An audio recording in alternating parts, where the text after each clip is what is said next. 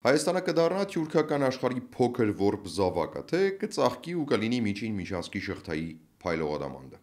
Հեքիաթներում իհարկե հնարավոր է պատկերացնել, որ 100 տարվա ընթացքում երկու անգամ ցեղասպանություն կատարած թյուրքական աշխարհը մի օր կարող է սկսել սիրել կամ խղճալ իր զոհին, բայց իրականության մեջ դժվար է պատկերացնել, թե ժողովրդի դահիճն ինչպես է հետդ հավասարը հավասարին ընկերություն անելու ու թույլ տալու, որ աճես, զարգանաս։ Ողջույն, ես Դավիթն եմ։ Վահագնի որդին։ Ինչ է հայտարարել Ալեն Սիմոնյանը Ժնևում խաղաղության կանչելով Ալիևին։ Ինչ հույսեր ունի Հայաստանի նախագահ Խաչատուրյանը Տոկաևի հետ հանդիպումից հետո։ Ինչ է հայտարարում Ալիևը հրաժարվելով խաղաղության կոնցեպտից։ Եվ ինչու են Հայաստանը դուրս թողնում գլոբալ տրանսպորտային նախագծերից, թույլ չտալով զարգանալ։ Բաժանորդագրվեք, եթե բաժանորդագրված չեք հիմնական լսարանին ամենասկզբում եմ խնդրել ու սեղմել հավանելու կոճակը, այդպես ինձ օգնում եք զարգացնել եւ ալիքը եւ համահայկական լրատվական գործակալությունը, իսկ մեկենասին եւ մեր աջակիցներին ասահման շնորհակալ եմ եւ ջերմ գրկում եմ, որ հավատացել եք մեր կարևոր 10 լեզվով հայկական գործակալության ձևավորման առանցքային կարողության նախագծին։ Մենք ակտիվ աշխատում ենք այդ ուղղությամբ։ Գնանք առաջ։ Նախորդին հրապարակվեց Հայաստանի արտգործնախարարության խոսնակ Հանի Բադալյանի հարցազրույցը հակազդելու ադրբեջանական նարատիվներին, ինչպես նոյեմբերի 9-ի փաստաթղթի, այնպես էլ news թեմաներով։ Այստեղ կարևոր է մի քանի որոշ հստակ մեջբերում անել։ 2020 թվականի նոյեմբերի 9-ի Երակողմ հայտարարությամբ նախատեսվում է, որ Լեռնային Ղարաբաղում լինեն ռուս խաղաղապահներ, ինչպես նաև 5 կիլոմետր լայնությամբ Լաչինի միջանցք Ռուսաստանի Դաշնության խաղաղապահների վերահսկողության ներքո, բայց ոչ Լաչինի միջանցքը կա, ոչ Ռուսաստանի Դաշնության խաղաղապահները մեջբերման ավարտ։ Թվում է, թե մեր արտգործնախարարությունում նոր են հասկանում, որ Ադրբեջանը ոչ թե ոչ պատրաստվում է, ոչ էլ պատրաստվել է խաղաղության ու հասունացել է պահը, երբ այդ պատերազմը որը պատրաստվում էր երկար ժամանակ, գնալով մոտենում է։ Վերջին պահին մերոնք սկսում են անել հայտարարություններ, որոնք պիտի անեին ամեն օր 2020 թվականի նոյեմբերի 9-ից սկսած։ Այստեղ կարելի է դասական ասացվածքը մեջ բերել։ Լավ է ուշ, քան երբեք, սակայն երբ խոսքը վերաբերում է մի ամբողջ պետության ու ժողովրդի ճակատագրին, ցավալի է նման ասացվածներով առաջնորդվել։ Ինչևէ, Բադալյանը նաև նշում է իր հարցազրույցում, որ ոչ մի հայ փախստական կամ ներքին տեղահանված միջև օրս չի վերադարձել ոչ Լեռնային Ղարաբաղի տարածք, ոչ հարակից շրջաններ, կարծես կրկին նոր հիշելով, որ այդ պահանջը պիտի լիներ առանցքային 2023 թվականի սեպտեմբերյան էթնիկ զտումներից հետո։ Բայց մենք լուր էինք կարծելով, որ դա դրա մասին խոսելը կարող է հանգեցնել նոր պատերազմի կամ Բաքվի կողմից Հայաստանի տարածք արդեն ադրբեջանցի բնակիչների վերադարձի պահանջի։ Հիմա առավել կարևոր հարցերից մեկը։ Բադալյանն ասում է մեջբերեմ. Մինչև այսօր ադրբեջանական բանտերում պահվում են հայեր, այդ թվում 20 թվականի նոյեմբերին կամ հոկտեմբերին գերեվարված։ Ադրբեջանն ասում է, որ նրանք ռազմագերիներ չեն։ Եթե ռազմագերիներ չեն, ուրեմն պատանդ են կամ այլ պահվող անձ։ Երակողմ հայտարարության ձևակերպումը վերաբերվում է անազատության մեջ գտնվող ցանկացած անձի մեջ վերմանավարտ։ Այդ մարդիկ կալանքի տակ են գտնվում արդեն 1 տարի ու միայն հիմա է արտգործնախարարության խոսնակի մակարդակում նման հայտարարություն հնչում։ Փաստարկված ու տեղին իդե։ Դրանից առաջ հայտարարությունները ոչ միայն լղոզված էին, այլ անգամ երկրի վարչապետն էր ասուլիսների ժամանակ կարծես չարախնդում, թե ով էր խնդրում Ռուբեն Վարդանյանին գնալ Արցախ ու հետո էլ բռնվել։ Իսկ հիմա երբ Փաշինյանի գլխի տակ փափուկ դրված բարձը լավ չի աշխատել, Բաքուն էլ դրժել է բոլոր խոստումներն ու չի տվել Փաշինյանին այդքան բաղձալի խաղաղության փաստաթղթի կտորը, Փաշինյանը հասկանում է, որ իրենք գցել են։ Ցավալին թեպետ այն է, որ երբ գցում են Փաշինյանին, գցում են ամբողջ Հայաստանը։ Բայց չկանգնենք, գնանք առաջ հայտարարության մյուս հատվածին։ Երակողմ հայտարարության 9-րդ կետով նախատեսվում է, որ Հայաստանն իր տարածքում կազմակերպում է բեռների, տրանսպորտային միջոցների եւ մարդկանց անցումը եւ երաշխավորում նրանց անվտանգությունը։ Սա շատ པարզ ձևով գրված է հայտարարության մեջ։ Հասկանալի է, որ Հայաստանը դա պետք է անի իր իրավազորության եւ ինքնիշխանության շրջանակներում, ինչ վերաբերում է Ռուսաստանի Դաշնության Դաշնային ծառայության սահմանապահ ծառայության մարմիններին երակողմ հայտարարության 9-րդ կետով նրանց ֆիզիկական ներկայություն նախատեսված չէ, ասում է արտգործնախարարության խոսնակը։ ԱԳՆ-ում չեն ուզում խոստովանել, որ Փաշինյանի կողմից նախ այդ թղթի տակ ստորագրելը, ապա նաև հետագայում համառորեն այդ թղթի ամեն կետի համար կռիվ չտալն է հանգեցրել բոլորիս վզին փաթաթված այս 9-րդ կետի պահանջին։ Այո, արտգործնախարարության խոսնակն ամեն բան ճիշտ է ասում, Հայաստանը զիջելու բան չունի, ոչ ճանապարհ, ոչ վերահսկողություն, ոչ էլ որևէ այլ բան։ Սակայն պահանջը շարունակում է մնալ, քանի որ Հայաստանը փաստաթղթի տակից ստորագրությունը հետ չի կանչում։ Եթե չի կանչում, ապա համակերպվել է մյուս կետերի չեղարկման հետ, սակայն համաձայն է մնա մնացյալ վերջին 9-րդ կետի հետ։ Եթե չեք գտնում ասածից մեջ տրամաբանություն, գրեք մեկնաբանության հատվածում ինչու չեք գտնում։ Ու այս ֆոնին է, որ Ժնև է մեկնում ազգային ժողովի նախագահ Խոսնակ Արեն Սիմոնյանը, որը հանդիպում է Թուրքիայի ազգային մեծ ժողովի խոսնակին, սակայն չի կարողանում բանակցել Ադրբեջանի Միլի Մեջլիսի խոսնակի հետ, քանի որ դեռևս անհայտ պատճառներով հանդիպումը չեղարկվում է Բաքվի պահանջով։ Սիմոնյանը ավելի ուշ հայտարարում է արդեն իր ելույթի ժամանակ։ Երբ խաղաղ գործընթացը լրջորեն սկսվեց ամիսներ առաջ, Ադրբեջանը ցանկանում էր մեր համաձայնությունը միջազգայինորեն ճանաչված 5 կետի շուրջ, Ուրախ եմ տեղեկացնել, որ այսօր մենք լիովին համաձայն ենք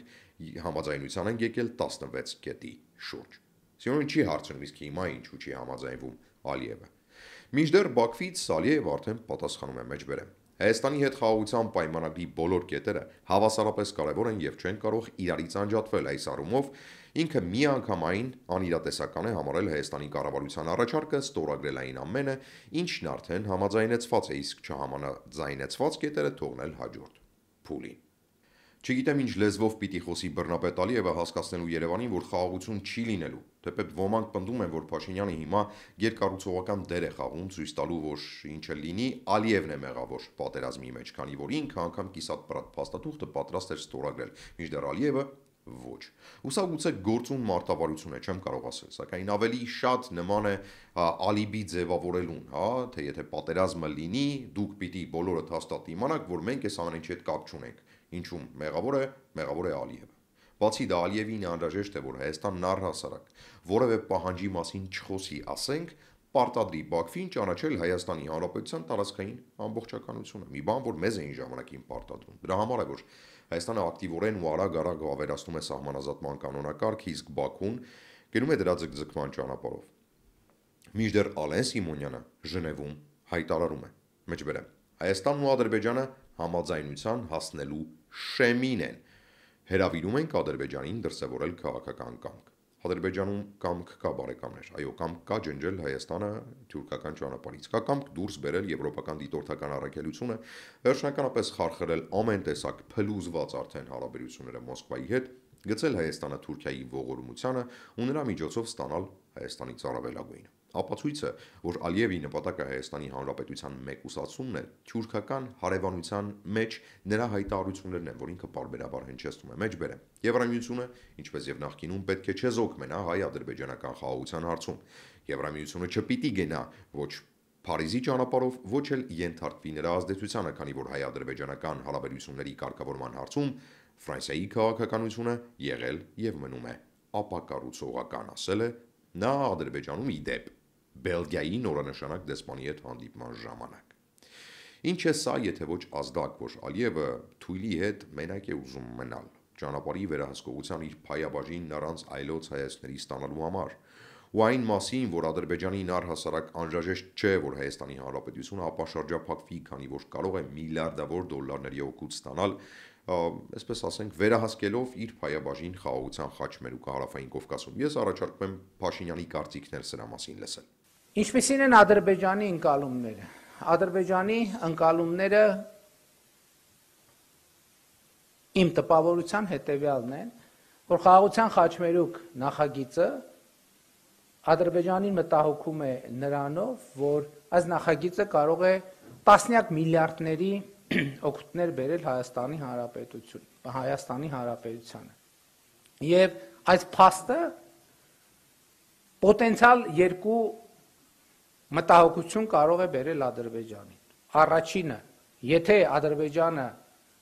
անկեղծ մտածում է, որ ռազմավարական հերանեկարում Հայաստանը ագրեսիվ պլաններ ունի Ադրբեջանի նկատմամբ, դա կարող է ստեղծել ընկալումներ, որ այդ տասնյակ միլիարդ դոլարները կարող են օգտագործվել ընդդեմ Ադրբեջանի։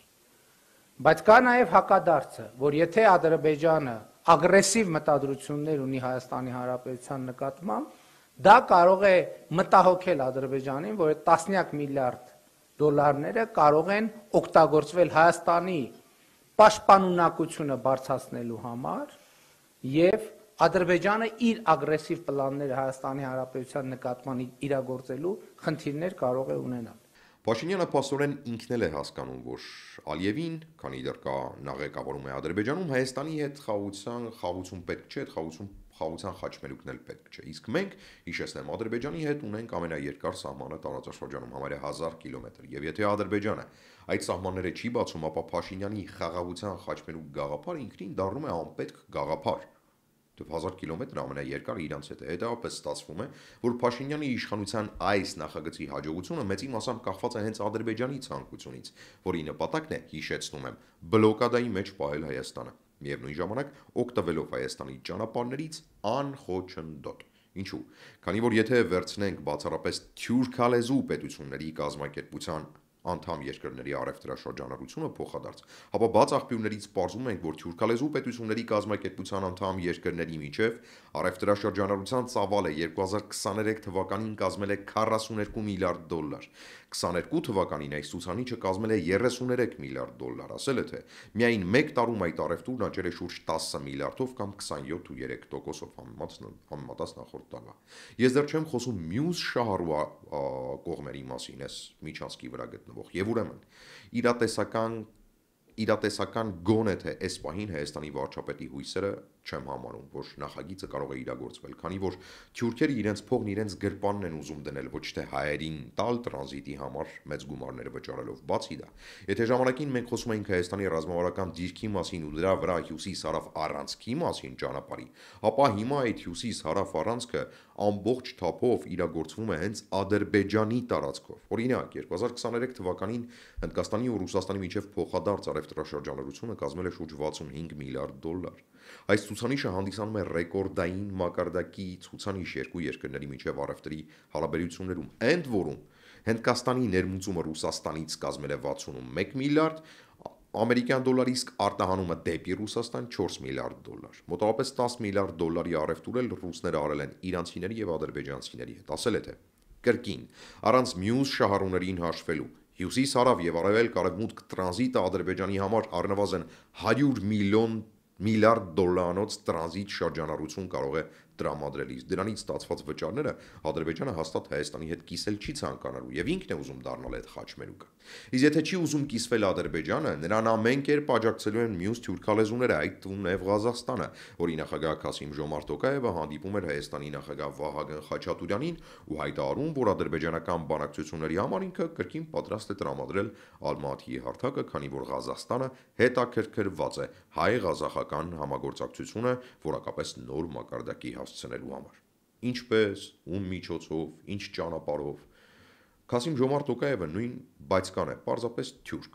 Այս է հարցերի հարցը։ Չէ որ Տոկաևը եւս շնորհավորում է Ալիևին, հայերին կոտորելու համար, հետեւապես հարցը հստակ է։ Ինչ հույսեր ունի Փաշինյանը խաղաղության խաչմերուկի մասով։ Արդյոք վերջինիս թվում է թե մենք թույլ ենք տալու թե մեզ թույլ են տալու թուրքալեզու պետությունների հարուստ էներգակիր ռեսուրսները դեպի Եվրոպա արտահանելու ճանապարհին դրա վրա գումար աշխատել։ Կուզենայի, որ այդպես լիներ ազնիվ, բայց հակված չեմ հեքիաթներով ապրել ու կարծում եմ, որ Հայաստանը թուրքական աշխարհում ավելի շուտ անպետք ворփի կարգավիճակ է ունենալու, քան հավասար գործընկերոջ։ Իսկ ինչ եք կարծում դուք։ Բաժանորդագրվեք, սեղմեք ավանելու կոճակը, մեկնաբանություններում գրեք ձեր կարծիքը, կիսվեք այս թողարկումը այլ սոցիալական հարթակներում աջակիցներին ասահման շնորհակալ եմ։ Ես Դավիթն եմ Վահագնի որդին։ Իմաստություն բոլորիս։